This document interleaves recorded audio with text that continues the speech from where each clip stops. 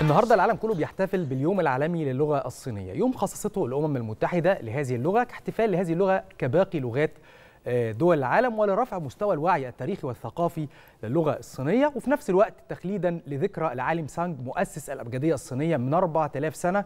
والهدف من ده هو رفع مستوى الوعي التاريخي والثقافي لهذه اللغة المهمه. حتى شاذلي إنه وزارة التربية والتعليم من سنة تقريبا عملت مشروع تجريبي كده في المدارس لتدريس اللغة الصينية.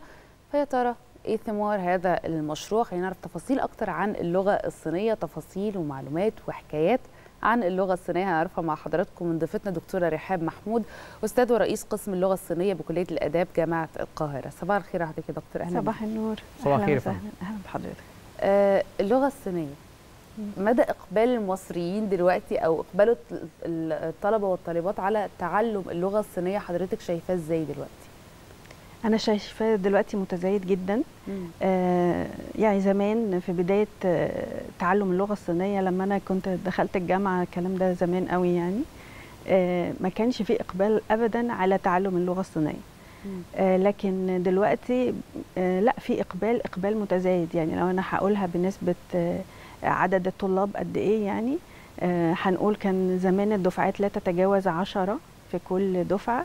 دلوقتي أعداد الطلاب بتتجاوز ال 300 و 400 طالب في كل دفعة. ف وده حصل الطفرة دي حصلت في ال 10 15 سنة اللي فاتوا. يعني مش من قبل كده بدأ في تزايد بنسبة معقولة لكن الفترة الأخيرة بالذات الخمس سنين الأخيرة رغبة الشباب المصري والعالمي في تعلم اللغة الصينية بيتزايد بصورة رهيبة جدا. طيب عدد الطلبة اللي حضرتك ذكرتيه والاهتمام الكبير بهذه اللغة في في مصر أعتقد إنه لازم يقابلوا على الجانب الآخر اهتمام بتعليم الشباب اللي داخلين بقى الكليات والجامعات إن هم يهتموا بمسألة التدريس يعني مش شرط إن أنا خريج ألسن معايا هذه اللغة إن أنا أقدر أدرس. فإزاي تم إعداد هؤلاء المدرسين؟ إعداد المدرسين بدأ مع زيادة أعداد أقسام اللغة الصينية في الجامعات المصرية. وده من ناحية ومن ناحية أخرى بدأ من عامين تقريبا مع إدراج اللغة الصينية في المدارس المصرية لأنه التعليم الجامعي غير التعليم ما قبل الجامعي. يعني وتأهيل المعلم الجامعي يختلف تماما في إعداده عن تأهيل المعلم ما قبل الجامعي. فلأن اللغة الصينية لم تكن مدرجة في المدارس من قبل تم عمل الكثير من الدورات التدريبية كتير جدا لمعلمي اللغة الصينية اللي هيدرسوا في المدارس لأن هم بيدرسوا للصفوف الإعدادية مم. اللي بتحتاج مهارات معينة طرق معينة في التواصل مع الطلبة في السن ده فدي اخذت مجهود كبير واخذت وقت طويل جدا في كيفية إعداد المعلم لأنه يبقى قادر وكفء على تدريس اللغة الصينية بكل صعوبتها لطالب لسه عنده 15 سنة آه إنه يقدر يتقبلها ويحبها مم. ويكمل فيها. مم. طيب دكتور التجربة المصرية حضرتك ذكرتيها يعني إحنا اخترنا مصر اختارت 12 مدرسة تقريبا في محافظات القاهرة والجيزة والمنوفية عشان تطبق هذه التجربة. حتى الآن إيه هي ثمار هذه التجربة؟ هو فعلا السنة اللي فاتت كانت المدارس 12 مدرسة. السنة دي زادوا 10 كمان فبقوا 22 مم. مدرسة. آه وثمار التجربة رائعه جدا في محافظات كتير. يعني دخلت اسكندرية السويس آه الإسماعيلية آه الأقصر. آه وكلها آه كان الاهتمام بيها في إن الأماكن أو المحافظات اللي قريبة من الاستثمارات الصينية أو موجود فيها آه شركات صينية بصورة أكبر لأن ده بيخلي الطلبة تقدر يبقى عندها في الآخر فرص عمل فتبقى مقبلة أكتر على دراسة اللغة الصينية. زاد طبعا عدد الطلبة اللي دخلوا اللغة الصينية من المدارس رغم إنها لغة اختيارية لكن آه الفرق في, في من السنة اللي فاتت للسنة دي كان فرق ملحوظ. آه فهي لغة مبشرة الحقيقة لغة مبشرة جدا. سواء على المستوى ما قبل الجامعي أو مم. على مستوى الجامعي طيب ده عظيم جدا هل الموضوع مقتصر فقط على تعليم اللغة كلغة مم. الأبجديات الحروف الكلمات ولا وصل لما هو أبعد من ذلك بقى الثقافة والعادات مم. والتقاليد أكيد أبعد من ذلك إحنا لما بنتعلم أي لغة إحنا بنتعلم البلد كلها من خلال اللغة مم. كل ما يتعلق بالدولة بنعرفه من خلال اللغة ثقافتها علومها آه، آه، مجتمعها تاريخها السينما الأغاني. كل حاجة إحنا بنتعلمها وإحنا بندرس آه، اللغة ال- ال- الصينية أو أي لغة في العالم. وطبعا الصين دولة لها تاريخ وحضارة تمتد لآلاف السنين. صحيح. فهي فعلا ممتعة جدا في دراستها. يعني عندنا كتير جدا من الوسائل التعليمية اللي إحنا نقدر نستخدمها في تدريس وتعليم اللغة الصينية للطلبة مم. سواء في الجامعة أو في المدرسة. التقدم الرهيب الاقتصادي والتكنولوجي للصين اللي حققته في الفترات اللي فاتت بيساعد كتير جدا في توفير مواد تعليمية تكنولوجية آه، رقمية يقدر الطالب يعرف فيها كل حاجة عن الصين بكل الصور الممكنة والممتعة والحديثة يعني مم. حقيقي إحنا كلنا فخورين وكلنا معجبين بالتجربة الصينية الناجحة اللي إحنا شاهدناها في العقود ال- الماضية وقد إيه الصين قدرت تحقق كدولة آه، عدد سكانها كبير جدا مليار و400 مليون نسمة آه، اللي دول كتير قوي ما قدرتش تحققه في في الفترات اللي فاتت. يعني أنا واحدة من الناس أنا شاهدت الصين سنة 1990 مم. وأنا طالبة في الجامعة لسه وشاهدت الصين دلوقتي والفرق اللي حصل في السنوات دي فرق رهيب. هو أكنه عالم آخر. هو أيوة، بس دولة أخرى تماما. 1990 حضرتك ليه اخترتي اللغة الصينية؟ أنا اخترت اللغة الصينية لأن أنا كنت عايزة أدرس لغة. آه، مش كتير بيتكلموها. يعني يعني آه، لما يكون اللغة الإنجليزية كويسة آه، محتاجين بقى إن إحنا ندرس حاجة تانية. مش ك... وعلى فكرة كان عندي يعني ساعتها ما, كا... ما كانوش مامتي وبابايا ما كانوش موافقين خالص يعني. بس آه، أنا أصريت الحقيقة والحمد لله أنا سعيدة. بالقرار اللي أنا خدته جدا طيب دكتور يمكن زي ما حضرتك قلتي دلوقتي يعني والد والد حضرتك ما كانوش موافقين أصلا على.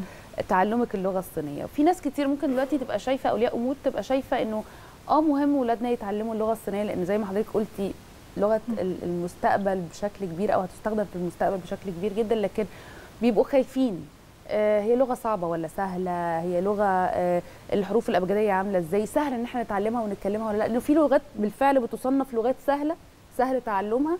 في لغات بالفعل لغات صعبة صعب إن إحنا نتعلمها. في وبتبقى في اختلافات. في لغة سهلة نكتبها ولغة سهلة ننطقها.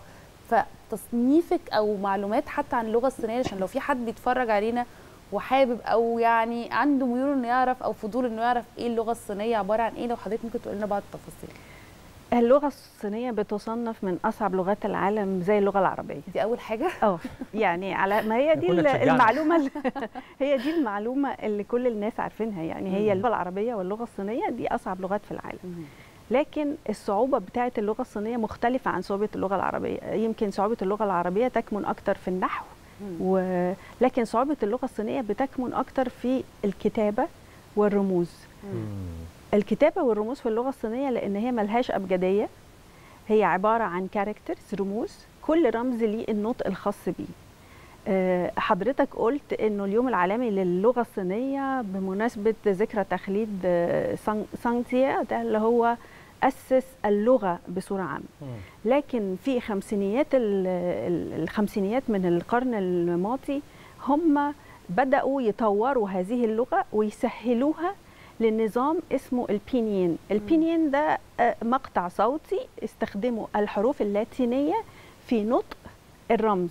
مم. يعني الرمز ده بينطق بال- بال- بالمقطع الصوتي ده اللي هو اسمه بينين فده آه، سهل كتير جدا في دراسة اللغة الصينية حتى الصينيين أنفسهم قبل الخمسينيات كانت نسبة الأمية عندهم تتجاوز ال 85% لصعوبة كتابة الرموز.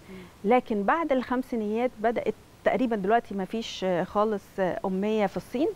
آه، الرمز نفسه بقى أبسط. النظام اللي هم استخدموه الصوتي ده سهل جدا. فما بقاش في مشكلة خالص. آه، أسهل حاجة في اللغة الصينية قواعدها لأن هي ما بتاع ما ملهاش آه، آه، يعني مش زي اللغة العربية ليها ال- الأفعال ليها تصنيفات و...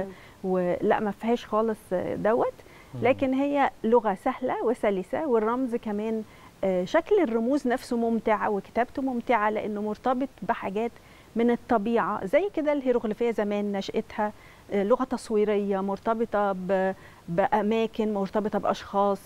فلما الطالب بيعرف أصل الرمز والحدوتة بتاعته أصلا كانت جاية منين آه. وعاملة إزاي يعني مم. كل ده رمز ليه قصة آه طبعا كل رمز ليه قصة و... وفي حاجات معينة في الرمز بت... حتى لو انت مش عارفاه أو ما شفتيهوش قبل كده بتقول يعني الرمز ده آه ده ده معناه مية حاجة حاجة بحر أو مية لأن في جزء من الرمز عن المية جزء عن الخشب جزء عن صناعة أو حيوان أو آه، ف... فهي ممتعة أثناء دراستها يعني هي آه، صعوبة اللغة الصينية بت... بت... بتبقى أول ثلاث أربع شهور بس. لكن بعد الأول ال- لأنها لغة مختلفة خالص عن أي لغة أخرى في. العالم. يعني لو حضرتك بتقري كلمة بالإنجلش أو آه، أنت ممكن تقري حتى لغة أنت ما تعرفيهاش لو. بتقري آه، أسباني ألماني أو أي حاجة ما حدش عارفها هيعرف ينطق الكلمة لكن باللغة الصينية مش هيعرف يقراها. صحيح. إلا لو كان عدى عليه الرموز. وعارف أصل مم. الرمز وحافظ وحافظ نطقه كمان يعني. طب هل في أي وجه للتقارب أو الشبه ما بين الثقافة الصينية والمصرية العادات التقاليد؟ الحاجات دي من شأنها أحداث تقارب ما بين الشعوب. طبعا في لأن إحنا دول شرقية. مم. فالدول الشرقية عامة ب- ب- بتتسم بأن فيها تقارب ثقافي. آه، ال- ال- إلى الآن الصينيين عندهم زخم ثقافي رهيب.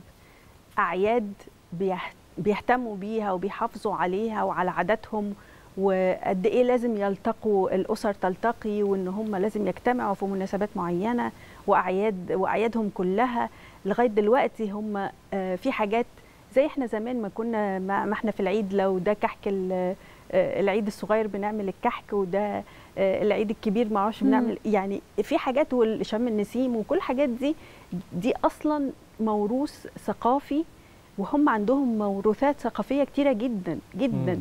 لا تنتهي صحيح. ودي أكتر حاجة بتعجب أي حد وبتخلي أي حد يحب إنه يتقرب أكتر طبعا لل- للصين وللثقافة بتاعتها لأنه كل مناسبة هم عندهم فيها العادات اللي هم متمسكين بيها وبيعملوها لغاية النهارده مم. يعني يعني إحنا في حاجات ممكن نكون عندنا نسيناها أو كنا بنعملها قبل كده ما بقيناش نعملها دلوقتي لا هم ما انتهتش رغم التطور الاقتصادي الرهيب آه، اللي هم وصلوا ليه.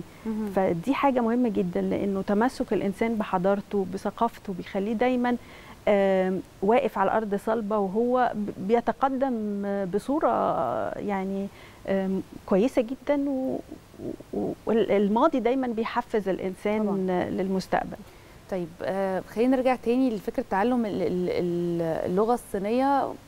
ممكن حد يقول ليه يعني لغة المستقبل؟ ال- إيه أهمية إن أنا أتعلم اللغة الصينية أو أعلمها لاولادي آه، أهمية اللغة الصينية من أهمية الصين. يعني أهمية الصين دلوقتي اقتصاديا آه، مش محتاجة حد يتكلم عنها. مم. الصين بقت أكبر قوة اقتصادية على مستوى العالم قوة اقتصادية حقيقية.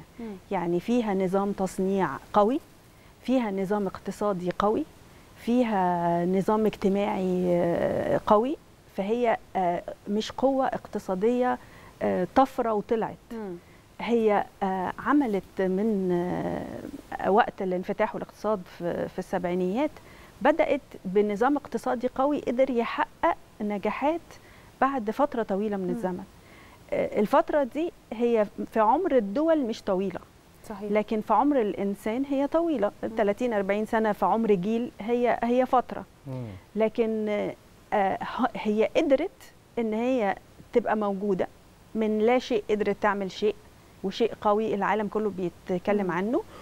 آه، قوة سياسية لا يستهان بها خالص دلوقتي وإحنا شايفين آه، الأحداث السياسية على الساحة الدولية دلوقتي عاملة إزاي. فتدخل الصين في مواقف كتير جدا بيكون ليه ثقل طبعا. بيعمل عامل زي فرمله كده لحاجات كتير. ال- العالم محتاج يكون في عدة أقطاب مش قطب واحد. ف... فطبعا الصين بلا شك وبلا منازع هي آه، يعني القوة العظمى الجديدة أو على النظام الجديد هي إحدى القوى العظمى الجديدة في العالم الجديد. ما فيش شك طبعا لغة من أهم اللغات. وزي ما حضرتك ذكرت إنه في مصانع وشركات كتيرة جدا صينية موجودة في مصر. فدي فرصة للشباب اللي بيدرسوا هذه اللغة إن هم يشتغلوا فيها أو حتى بالنسبة كمان للسياحه السياحة الثقافية الصينية. إحنا عندنا نسبة كبيرة جدا من السياح بيجوا من الصين للاطلاع ولمعرفة الثقافة والحضارة المصرية بالإضافة طبعا إلى إنها دولة من الدول العظمى كاقتصاد قوي يعني في العالم كله ففيها فرص عمل كمان كبيرة جدا بالنسبة للشباب فعشان كده هي لغة غاية في الأهمية. إحنا طبعا بنشكر حضرتك جزيل الشكر دكتورة رحاب محمود أستاذ ورئيس قسم اللغة الصينية بكلية الأداب بجامعة القاهرة. شكرا جزيلا ليك يا فندم. شكراً. شكرا.